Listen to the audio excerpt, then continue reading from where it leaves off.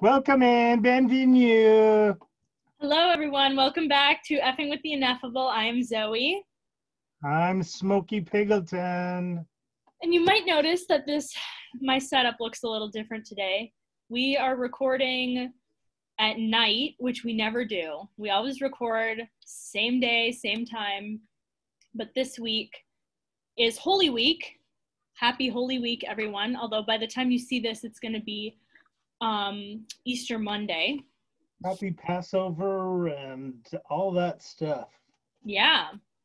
So, um, yeah, uh, Holy Week is a really, really busy time. Um, so we decided to record a little early and a little weirdly this week. We're kind of just talking about whatever comes to mind because, um, yeah, we just don't have a, a lot of um, time later in the week to record. So uh, we only talked recently, but has anything been going on of note? Not really. It's been raining a lot here. We got flooding. I went up to a uh, visited property um, and uh, saw a place that was uh, kind of a, it's on the edge of a national forest, so that it's that's got that's that's what it's got going for it. Everything else it has going against it. Mm. well, the good thing is you're it's not like you have an urgent need for a property, so it's not like you have to settle for That's that is true. That's true. So you can wait until something better comes along, you know. I could, yeah. I'll probably go up and see the place. It's actually got a house on it, but they Oh. say that the house is so ragged that it's actually considered of no value. uh, It's a detraction from the no, I hesitate to hesitate to walk inside, see what kind of Yeah, exactly. horror show that might be. Um, have you been seeing clients lately or is Yeah, that yeah, we've been seeing them. Yeah. good? That's good. Yeah, what the guy I saw today said, the people in here, they're just no good. He was Most a of them are, resident or most a of them would just most of them would just be a waste of a bullet. You ought to just use a knife on them. wow. This is an inmate? Compassion, compassion, compassion for your fellow man. Yeah. Charity in action, right there. yeah, it's an inmate. Yeah, it's an inmate. No, it's it's my supervisor. I thought I didn't know if you were like having a conversation. I didn't know if you were having a conversation with a coworker or if this was a uh if this was an inmate, but I Yeah, I would hope that somebody who would make a comment like that would be an inmate, but I don't know. kind of fits with the context. Yeah. Well, that's good that you've been seeing people. We uh the only real big news that happened to us was my youngest daughter turned 2. So that was exciting. We had a little we didn't really do much like on her actual birthday because my family's coming to visit next week. So we're going to have like a bigger celebration then. Um but we had a Zoom call and she opened some gifts and so, got some books and some beading. which she's playing with right now. She loves those beads. Good. It's a it's yeah, it's like just a lacing bead thing. It's a perfect. It's a perfect OCD thing for Yeah. kids. They, they can sort out the colors and the shapes and yeah. She doesn't care so much about that. Her older sister would do more of that. She just likes the like I don't know. She just likes dumping them out of the jar and picking them up and dumping them out again. So I don't know. Um, she does like her new books though. She's get she like twice in the last week. This is such like a happy parenting moment. Twice in the last week, out of the blue, she said, "Reading is fun," which is funny because she doesn't say a lot of like full sentences like that. But twice she said that full sentence. I was like, I'm glad you think reading is fun. I think part of it is her older sister reads almost nonstop. So she thinks reading is the cool thing to do, I guess. Yeah. Actually, her older sister can sight read some words, right? Yeah. Yeah, and and like spells out words. Like she she likes to try to she'll think of words that she wants to write out and try to um try to sound them out. She like we don't do a lot of like formal reading instruction, but um she's kind of just figured it out on her own, even though she's It's weird because when I was in like, what was I? Maybe first or second grade. I remember I got moved into the advanced reading group because I was the only one in the whole class who could figure out the word Geraldine. And I happen to have an aunt Geraldine. yeah, Yeah. that's so funny. That's so random. Geraldine. that was when we lived in Chattanooga, Tennessee. Wow. Yeah. That's that's funny. How long how many years of school did you do in Chattanooga? Just a cou- maybe a couple. What did I get up to? Because didn't you go to kindergarten in fifth grade? Yeah, I went to kindergarten in um, Staten New Island, New York? New York City. Yeah, yeah. So Yeah, anyway, yeah. Should we get to our topic? sure. You, you take the lead on this one because you sent me an article and I skimmed it, but I did not. I thought this might be a good follow up. I know we had a show where we talked about gun laws and Yeah. all that stuff, and we went into quite a bit of depth about that. Yeah, But now they're talking about, uh, they always do this, and it's, you know, a classic governmental ploy have, have a crisis, overreact, take power that Yeah. they wanted. They wanted to take power, so they use this as an excuse to take the power, yeah. right? You know what they So- say? Never let a good crisis go to waste. That's right. You you want to make hay while that uh, while the while the barn burns, I guess. Exactly. I don't know what they're doing, but anyway, so they they've uh, they've decided that there because there was this uh, shooting in Atlanta where this sex addict or whatever decided he was going to kill a bunch of uh, sex workers and other people, and he was you know he obviously lost it, and then Yeah. there was this other guy in Colorado who lost it. Uh, and- I don't I don't know anything about that. Like I heard basically all I know about the first shooting was what you just said. The second one, I don't really know anything about it. I know that there was a shooting in Colorado and that's it. So I don't know and he's the apparently a. Muslim, and he had been, I don't, uh, uh, he had been talking violently recently or whatever, and anyway, he apparently got a gun. Um, and again, who knows whether he even got it through legal means, but he went into a, a grocery store and killed a bunch of people.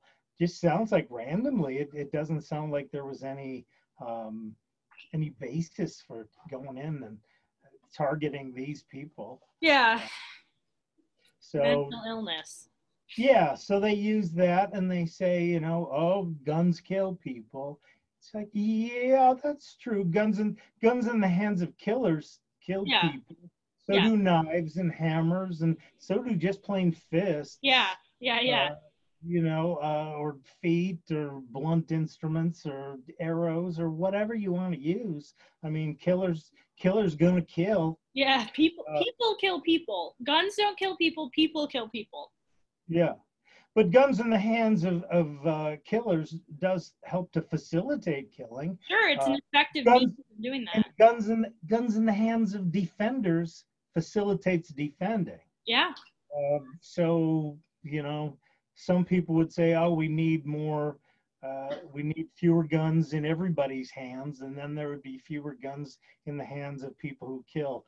Um, so far, that hasn't worked out real well in like Chicago, New York, California, uh, the places where there is strong gun controls already in place, uh, but there is a massive number of murders that still go on, primarily with handguns. Uh, now, they don't want to ban handguns. They're not saying they want to ban handguns. They want to ban AR, uh, Arm- Armalite style rifles, AR 15s, that are semi-automatic and tend to have larger magazines. They don't want you to be able to have a magazine where you can feed more than 10 bullets into the gun at any time without having to change out the magazine. Um, guess what percentage of shootings were actually done with that? Like in the last year or something, or Like it- yeah, like almost ever. I'm gonna no, guess like Hardly zero. any. Yeah, Hardly any. Yeah. Um, so, uh, so I was looking at this. I was looking at. Uh, I, you can uh, link to this violence by the number thing, which was. yeah. I'll link it below. It's on a. Um, it's on a pro gun website. Yeah. Yeah. So you So- have to keep that in So, I- mind. so yeah, you have to keep that in mind. But it's interesting because they ran a video of a guy who said, "I don't, I don't want to be biased in any way. So let's just take raw statistics. Let's not."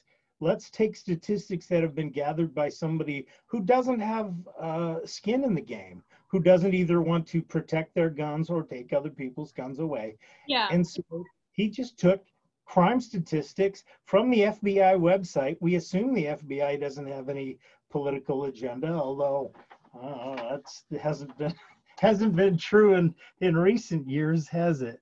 yeah. Uh, but uh, I don't know that they're pro-gun or anti-gun. It doesn't matter. They they put up statistics that they gather from all across the country. Um, the bulk of killings have been in metropolitan areas.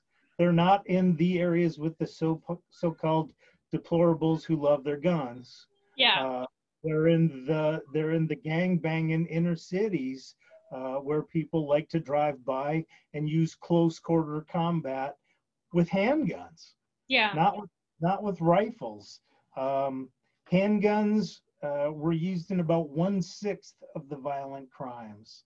Uh, one fourth of the violent crimes were actually perpetrated with what they called personal weapons, which are hands, feet, and fists. So almost a quarter Yeah. of them had no gun involved at all. Had had no gun, but were threatening with Yeah. their threatening with their hands or feet. You know, just to beat, give somebody a beat down. Yeah. Yeah. What Which can be- percentage and what percentage were with like knives? Like not not necessarily a gun. very high, per- about the same percentage as handguns. yeah. was knives. Rifles were way down there. Rifles Yeah. were way. Hardly anybody uses rifles. You know, some of them do. Some of them use shotguns, uh, but ARs, uh, ARs are good for if, you wanted to commit a mass shooting. That would be a good choice of a weapon. Uh, the problem is who wants to commit a mass shooting? Who who who wants to do these things? It almost all takes place, like I said, uh, two years. Uh, what was? What did the guy say? Did you watch the video? I did not watch the video. Oh, the video was quite good. Uh, the guy I'll, talked. I'll link that one too. I mean, it's in the article that you sent, but It's in that article, yeah. It, it's from 2012, but all the statistics pretty much stay the same. I looked up the recent, uh, what they called Crime Data Explorer uh, through the FBI. Um, violence has actually gone way down over the years. and the article in the article, all the charts, I believe all the charts are through 2019. So that's pretty recent data. I I don't know if like like you know if the 2020 crime statistics. I don't think they've compiled that Yeah. and put it together all yet. So it's Yeah. pretty. It's like basically as uh, recent as it's going to get in the uh, in all the charts that are on the um, the article I'm gonna link. Rate of the rate of violent crime has still been dropping. It seemed to peak in 1992. It's Yeah. been going down pretty steadily since. There's been a couple of uh, a couple of bumps.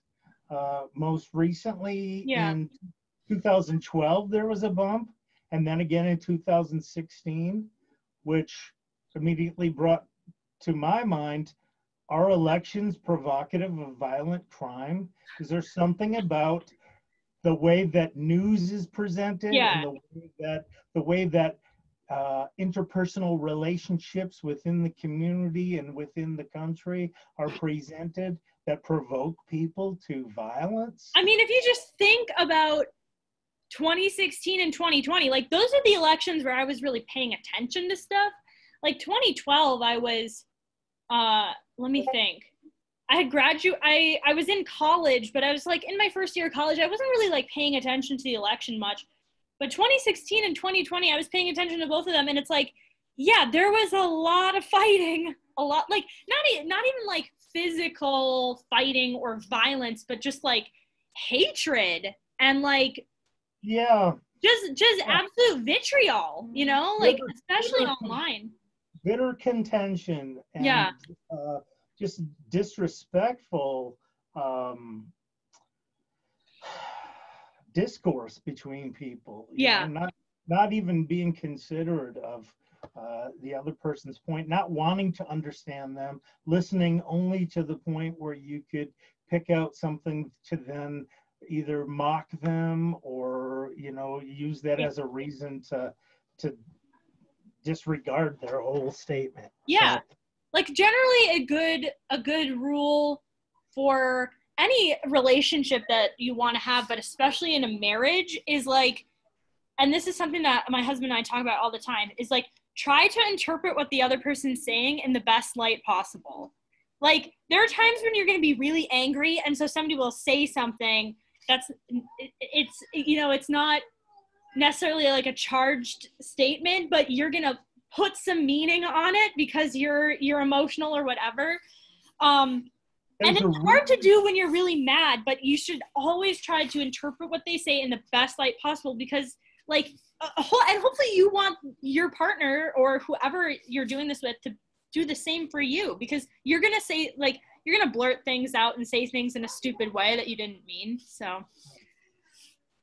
It, it's it's interesting because you know the the, the Saint Francis prayer talks about seek first to understand and then be be understood. understood yeah Yeah, and, and there's an that's an interesting correlation with there was um there was a book that I read uh, some years ago about conflict resolution and ways to uh, develop win-win scenarios. I think it was called like getting to yes or something Mm. like that yeah and it, it- was really well written. And one of and one of the parts they talked about was uh, when there are tensions whenever there are threats and a sense of insecurity um, people tend to get fearful. People tend to get defensive and want to protect their interests and um, uh, you know sometimes attack the other person Mhm. or just be really defensive, uh, be really uh, oblique about stuff, not you know, kind of get Yeah. hard, hard and close off, which Yeah. is the worst thing you can do yeah if you're in a if you're in a relationship where you're supposed to have trust. yeah You're supposed to have intimacy. Into me, you see. yeah You, you let that person see into you. You let that person know where you're coming from, what your feelings are about, why you're thinking what you're thinking, what your goals are, what your feelings are, and you want to understand their point too. So the so in that book it talks about the intent to protect versus the intent to understand.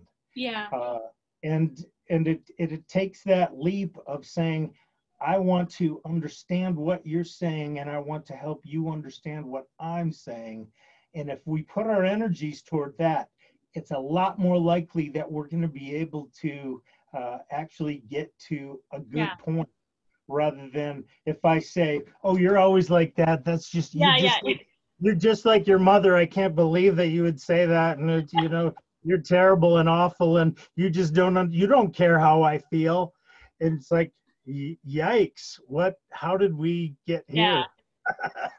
yeah i mean there's a lot there's a lot of rules that uh, my husband and i have for arguing that prevent stuff like that. Mostly like another good one is never use you statements when you're mad use i statements. Like when you do this i feel not like you always do whatever. Um but i was gonna say like you know you know it it might make more obvious sense to talk about these kind of tactics in like a relationship with somebody that you love or whatever but even when you're if, if we're sharing a country don't Yeah. we have to trust each other at Yeah. some point don't And we I have to take yeah. a chance and be open and say listen i don't think you're a bad person I Mhm. don't want to vilify you. I don't want to, uh, you know, I want to help you understand where I'm coming from, and I want to understand where you're coming from. yeah And if we have that, we're much more likely to get to a constructive dialogue, yeah exactly even on a macro level. Yeah. You know, like uh, Jordan Peterson had a debate with Sam Harris. Um, probably, man, it must it must be be like three or four years ago now. Um, but they disagree on a lot, like a lot of stuff.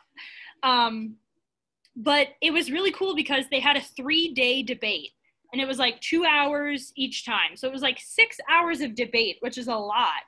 Um, but the second day, they did this really cool thing, which was they started off and Jordan, I think Jordan suggested, like, I'm going to try to put uh, everything Sam said yesterday.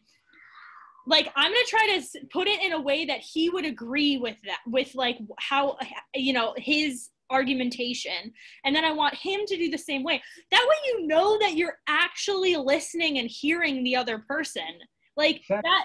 And it's it, the were- listener. It's the listener speaker exercise Yeah. from um, what was that book that how to, how to fight for your marriage. how Hmm. to fight for your marriage. Yeah, it's it's the listener speaker exercise perfectly. You, the, the one person's job is to listen and to reflect back what you hear the other person saying. Yeah. So much so that they agree with it. Like, and if they don't agree with it, then they need to say, like, yeah, all that was good, except you missed this point, which I think is really important, or whatever, or you misstated this. And then you can be like, okay, now I actually understand where we're both coming from. Now we can like try to move on. And I mean, like, yeah, they disagree about everything, but they were trying to trying to make a way that they could actually get to like the meat of the issue and talk about things rather than just getting defensive about things. Um, and that's why it was actually like a very interesting debate to watch because you watch a lot of debates and they're really bad. They're just people like insulting you or not or just like clearly not listening to what you're saying and just trying to make their next point or you know just I call that I call that the Psaki technique. the what the Jen Jen, Oh, Psaki. oh oh, oh yeah yeah yeah.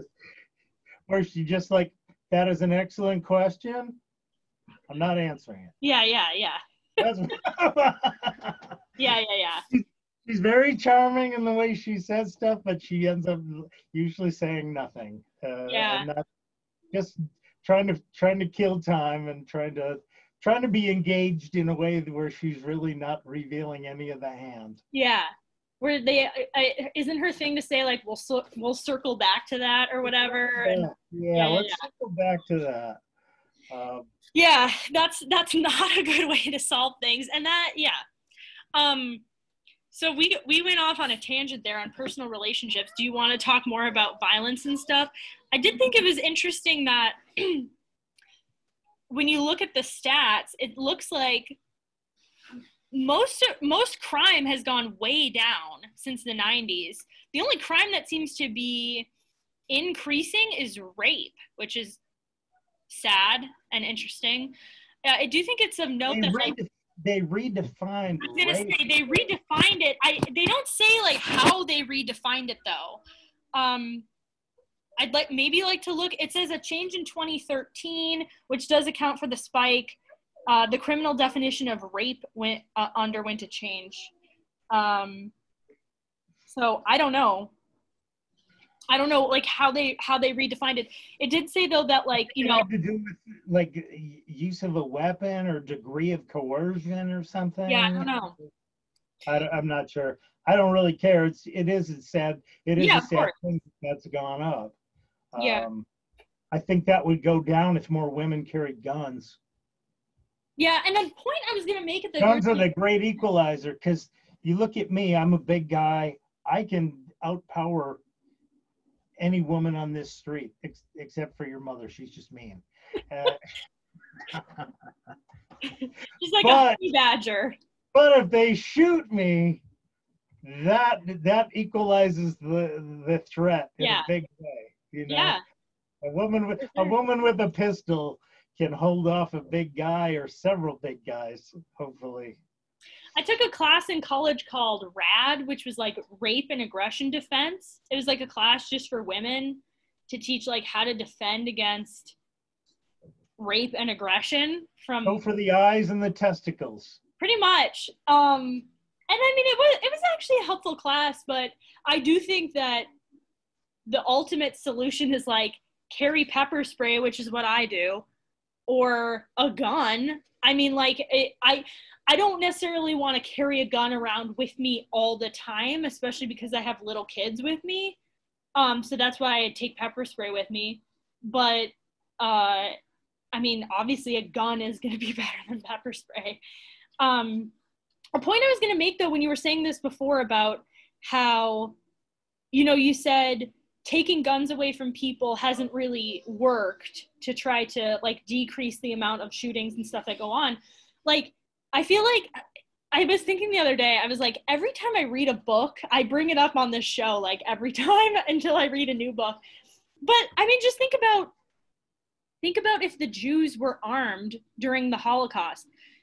Like, it's shocking and actually like incredible, meaning like you can't believe it that they killed six million people in Europe during, you know, during the Holocaust. Six million people ver- with guns versus like the Nazis. I mean, it. I don't know. I don't want to say like it would have never happened, but I think like it would have been a At least lot they would harder. have been able to defend themselves. Yeah. I saw I saw an interesting thing the other day. A, a couple points here. I know we have to wrap up pretty soon, but uh, Well, we're I saw an interesting the other day. There was this uh, somebody had had written this snarky comment. How many AR-15s did Jesus, Jesus have? own. Yeah, yeah, yeah. And then the answer to that was not enough to keep him from being murdered by the government who. Uh, Yeah, was- yeah, by his own government. exactly. Exactly. Yeah, I mean that's that's true. Like that that is true. Like you it's really it's hard to get completely persecuted and murdered. Like once again, I bring this up all the time, but think about the people in North Korea. Like people in North Korea get killed all the time.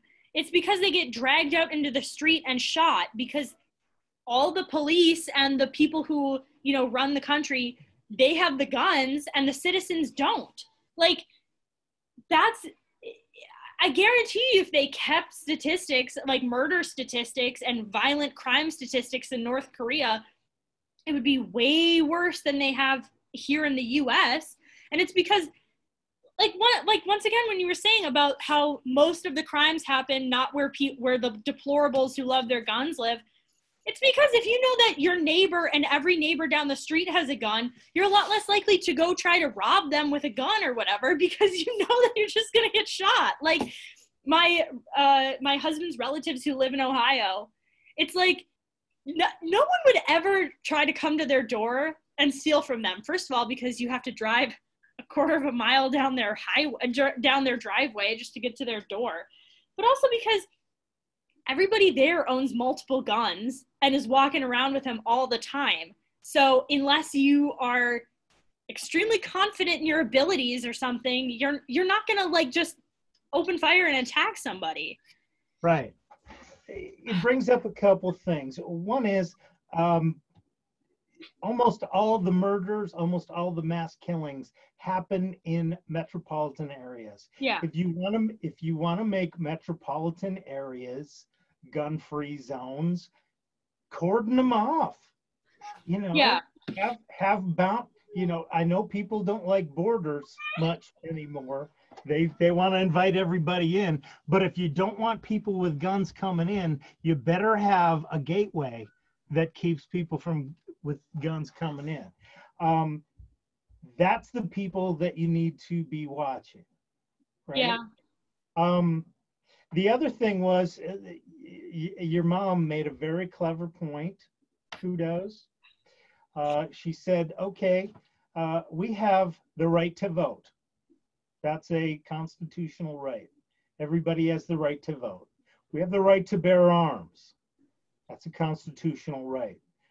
In order to make things fair, we ought to have the um, the access to voting and the access to guns be exactly the same process. Yeah. whatever that is. If if i if i can mail in and get a gun and i don't need to show any uh, show any kind of uh, id or anything like that that's fine if that's the way you want to play it. Uh, if you want to have people have to show up and show an id and uh, verify their identity uh, and and do so in person you Yeah. probably have to do so in person. Uh, then that ought to be the that ought to be the standard for both voting and for getting guns. Yeah. Whatever the And standard, have, you know, and have a standard for voting. and have a two week week waiting period and you know not be able to vote if you have any prior history of depression or mental illness or any of that stuff. Like I, yeah somebody somebody commented on like a libertarian page today and said i want like or they actually were commenting on like cnn or something. Cnn posted like how do we uh, stop these like mass shootings? And like one of the comments was yeah make it as make it as hard to get a gun as it is to vote and the person under it was like okay so mail them to everybody in the country like that it, it is a complete double standard to be like Mhm. voting voting is a serious thing like voting people, people get their grundies in a bundy as soon as you start saying things like, "Oh, maybe we ought to have people." You just hate folks. You Yeah. just don't want anybody. You want to suppress votes. yeah You want to suppress gun ownership. As a matter of fact, you want to eliminate gun. yeah yeah yeah it's not Uh, even like it's not even suppression at That is, that is a constitutionally Mhm. defined right. yeah As voting is. Voting should be no more suppressed than gun ownership is, and vice versa. yeah You know, if, yeah if- i agree if they held if they held that kind of standard, I uh, I think things would change. yeah I don't know how they'd change. I think I think probably people would say, uh, you know what, uh, voting is a little bit more uh, sophisticated, and you do have to show a little bit more um, qualification than just having it having an address and having a ballot be mailed to you, or Yeah. having having somebody come around and say, we want to get your your vote. If people drove around and handed out guns like that, yeah uh, would that would that be cool? Would- I mean, Yeah. is, is that what is is that what you're asking for? yeah I think they need to be held to the same standard. yeah I think they- at the very least i'd like it to be you know state or local locally defined as to you know if in california they want to make it so that you know you have to you can never own a gun but also like voting is extremely difficult or whatever then like do then be consistent. But in, in texas like you can show up and vote wh- wherever and you can just show up and get a gun. Like i just want it to be consistent and even if there's diversity across the states like i want that to happen. If there's if there's different states who want different standards that's fine. But i yeah obviously like some more consistency with your rights and your ability to exercise them would be would be nice. Yeah Mhm. for sure. Um You know, they talk about these red states and blue states, but really what the it, it seems what the discrepancy is is uh, urban areas Yeah. and everybody else. Yeah, for sure, for sure. It's like I've lived in I've lived in red states, I've lived in blue states, I've lived in purple states. But every single time, because we've moved around a lot for school, I've almost always lived in a big city with a uni- like a university town in a big city. And so almost everywhere that I've ever lived has been liberal no matter where I've lived in the north, I've lived in the south, I've lived on the east, I've lived in all different kinds of states. It doesn't matter. Like it, Nothing wrong with liberal. It's the leftists that you got to watch out for. well, yes, it's I the socialists. yeah, yeah, yeah. Liberal, classical liberal Yes. is what they call libertarians. I know, and I I am a classical liberal, but people don't use the term liberal to mean what it really means anymore. I'm using it in the Let's reclaim it. parlance. Let's reclaim it. Like like Ben Shapiro says, eh, I don't have a problem with liberals. I have a problem with leftists. Well, and I don't either, but yes, I I have a problem. I have a problem with fascists too. You know, all I have Uh, a problem with is authoritarians. That's I mean, if we're going Right. to be specific, I just want people to leave me alone, and I want them to leave everyone else alone too. So it's weird because I was reading about Harpo Marx today. It was like a a, a click trail. somehow, I, somehow I got on the life of Harpo Marx, and he, uh, you know, he was Jewish. His whole family was Jewish, and at one point he went through. Um, it was like in 1933. He went through Germany, and he could already see some of the stores had marks on them. Uh, whatever Jewish stores there were, people started to just boycott those stores. yeah, Uh, and he went over to he he was a it was a goodwill ambassador to the Soviet Union from the United States. He went to the Soviet Union and and they they spied on him and they uh, like kept him completely under wraps. They you know and he, he said you know both places were terrible. Obviously Hitler and the fascists yeah, were authoritarian and were, you know, they just did not have respect for human life. yeah, The same way that the socialists do. yeah, They just do not have respect for human life. They have some kind of ideological fervor that takes over, and instead of being democratic about stuff and and you know allowing people to uh, have liberties, they just feel like oh people are idiots. We can we can guide them and mislead them and whatever, convince them. yeah. They view they view people as Especially if we take away their guns Yeah, you take away their guns, they they don't have much to fight back with. yeah, Sticks and stones, and especially bullets, will break our bones. But words, we can manipulate those. yeah, yeah. We can spin the hell out of those. Yeah. Um I can't even remember what I was gonna say, but that's okay. Um, well, do we wanna say anything else about crime, violence? I mean, No, I just wanted to point out again that you know, like I said, the uh, government will never waste a crisis. They'll always use it as an opportunity to overreact and to grab more power, and it seems like they're trying to do that. Um, they're trying to get these assault weapon bans and these uh, magazine, uh, high capacity magazine bans and stuff like that. And that has nothing to do with the problems that are going on in Yeah. this country.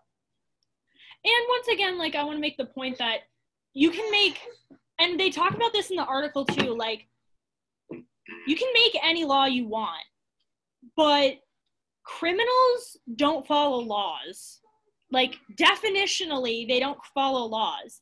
So if you take away the guns from the from you know all the law-abiding citizens, you're not you're you like it just is a common sense i hate that term because you know b- like both sides use it to like manipulate things once again but it just makes sense that you're going to have an increase in crime.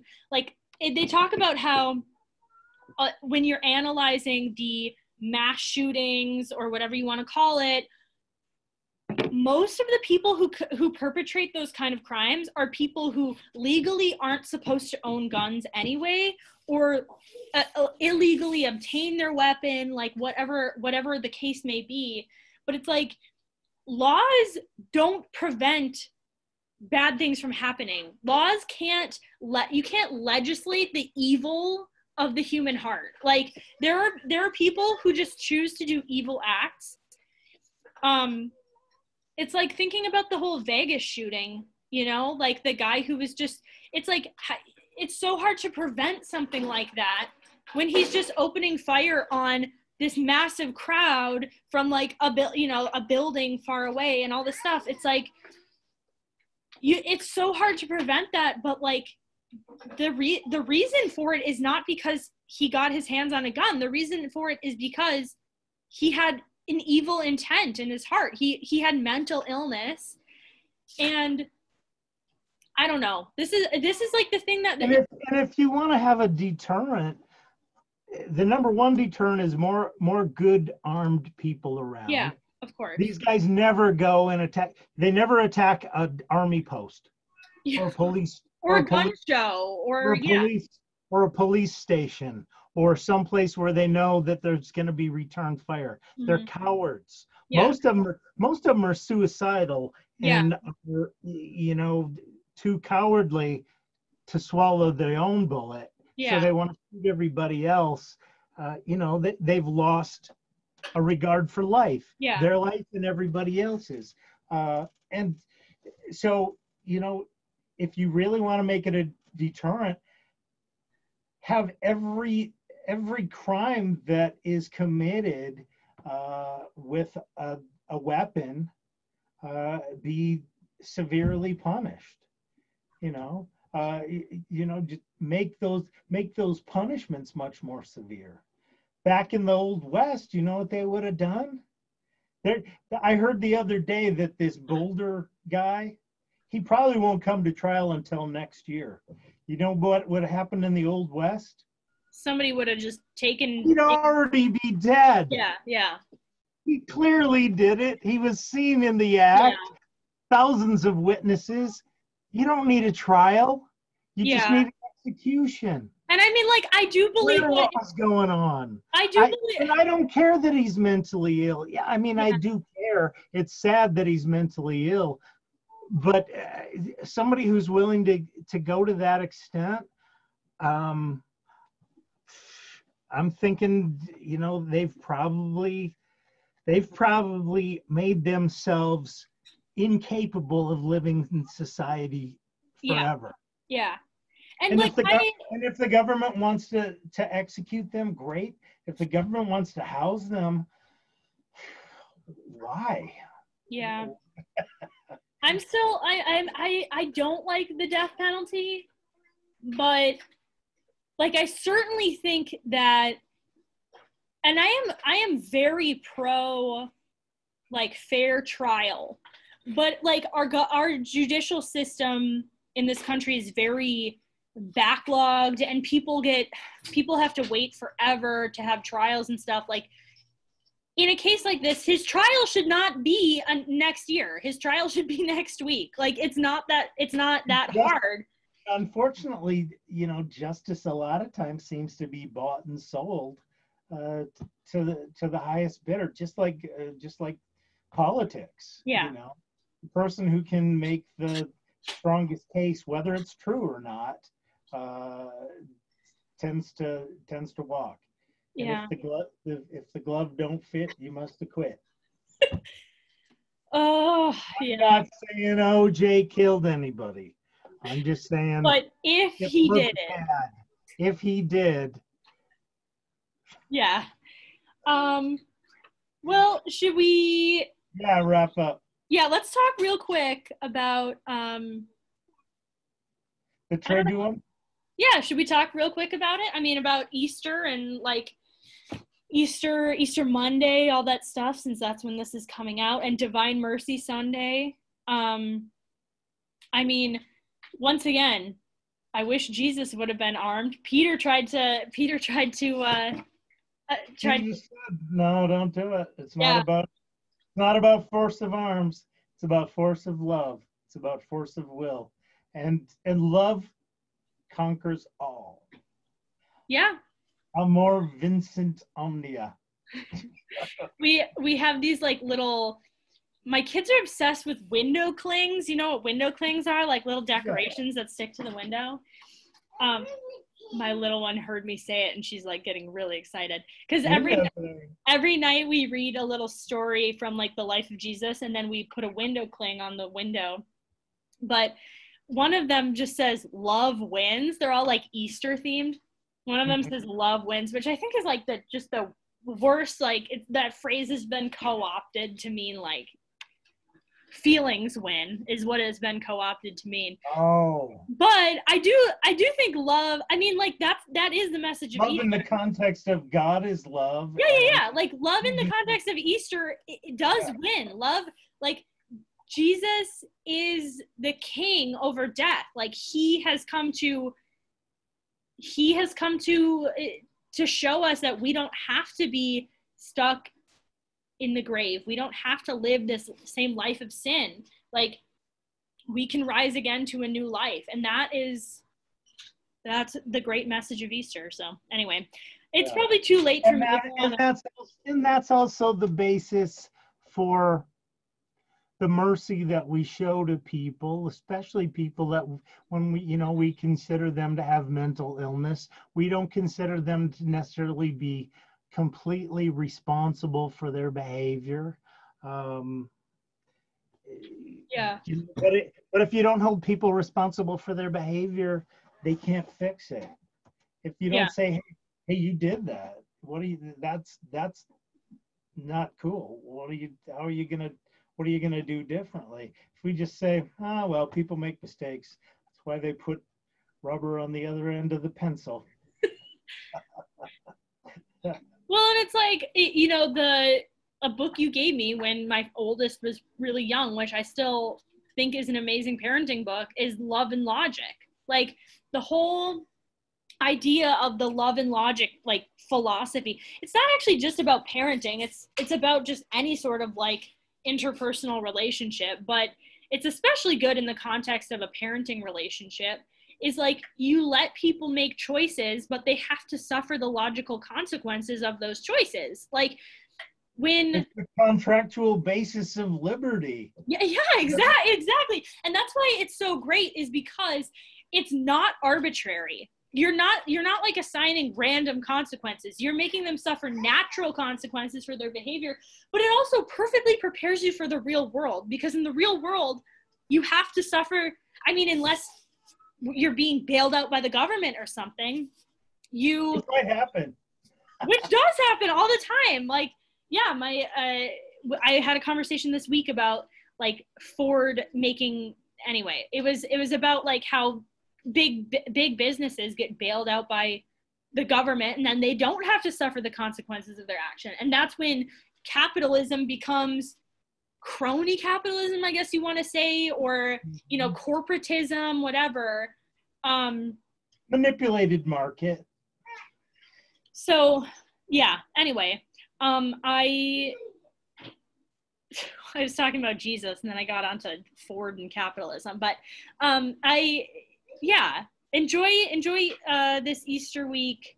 Enjoy. Uh, apparently, in it's a tradition that on Easter Monday, when this is coming out, that's the day that Jesus like walked with the disciples on the road to Emmaus.